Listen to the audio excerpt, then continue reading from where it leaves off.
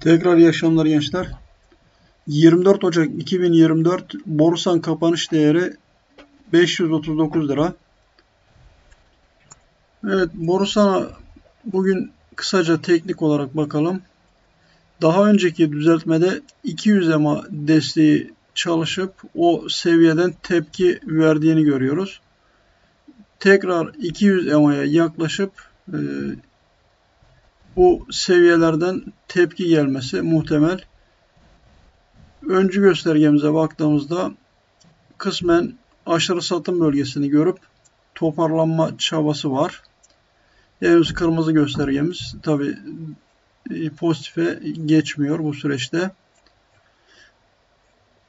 Bu şekilde uzun süren düzeltme hareketlerinde genel resmi görmek için periyodu bir üst periyoda aldığımızda yani haftalık periyoda aldığımızda yine mavi öncü göstergemizin aşırı satım bölgesini görüp yukarı tepki verdiğini görüyoruz. Eğer pozitif hareketler devam ederse o zaman kırmızı göstergemizin yine bu seviyelerden pozitife dönmesi beklenebilir.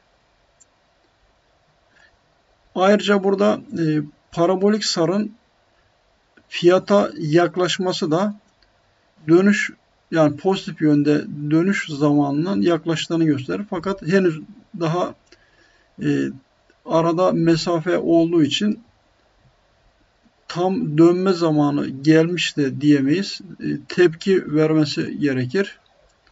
Şu bölgede olduğu gibi bakın e, parabolik sar fiyata ya da 9 EMA'ya yaklaştığında o seviyeden tepki geliyor. Yine e, parabolik sarın aşağıdan 9 EMA'ya yaklaşması da pozitif giden hareketin terse dönmesi demektir. Şurada görüldüğü gibi. Yani özetle haftalık periyoda baktığımızda bu seviyelerden tepki gelmesi gerekir diye düşünüyoruz. Tekrar günlük periyoda geçelim. Evet, bugünkü kapanış değeri 539 lira. Zarar kes seviyesi olarak 524 lira alınabilir.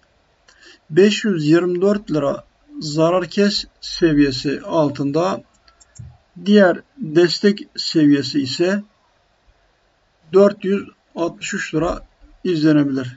463 lira diğer alttaki destek seviyesi. Eğer olumlu hareketler devam edecek olursa kısa vadede 581 lira direnci önemli. 581 direnci geçilirse o zaman şu bölgedeki 708 direnci gündeme gelir. 708 direncinin geçilmesi durumunda da asıl bant yani makas genişliğimiz olan e, şu makas bölgesinin yarı seviyesi diyebileceğimiz 763 e, 849 e, lira biz ona kabaca 850 diyelim. 850 lira direnç seviyesi önem kazanır. Eğer 850'ler geçilirse orta ve uzun vadede asıl beklediğimiz makas hemen ona bakalım. Asıl bizim beklediğimiz makas direncimiz bu olur. O da baktığımızda evet 1128 lira 1128 lira orta ve uzun vadede beklediğimiz makas. E, bunun için öncelikli şartımız 850 lira üzerinde hareketler görülmesi. Eğer 850 direnci geçilemezse bu beklentimiz yani 1128 lira beklentimiz gündemden düşer. Onu da belirtelim. Evet, e, Yabancı takasında henüz sarı göstergemiz toparlanma yok görüldüğü gibi. Henüz takas görünüm pozitife geçmemiş durumda. Burada çalışmayı yapma sebebimiz daha önce olduğu gibi 200 EMA seviyesinin yani neredeyse tekrar görülmüş olması bu seviyelerden tepki normal koşullarda bu seviyelerden tepki gelmesi beklentimiz. Grafiği yenileme çalışmamız. Evet, e, araç kurum dağılımına baktığımızda günlük işlemlerde %3 ilk 5 kurum alıcılık kapamış. Birinci alıcı 19.000 lot ile yatırım finansman. ikinci 15.900 lot ile QNB Finans.